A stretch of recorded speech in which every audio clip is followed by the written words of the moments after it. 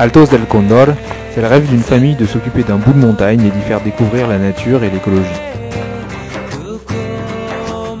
Séduit par cette belle utopie que portent tous les membres du clan, on a décidé de leur prêter main forte.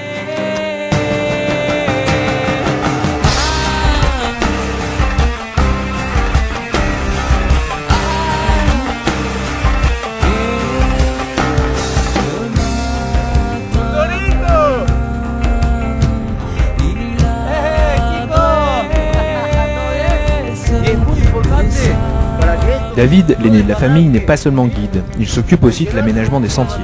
L'idée est que, quel que soit l'âge et la condition physique, tout le monde puisse découvrir la nature.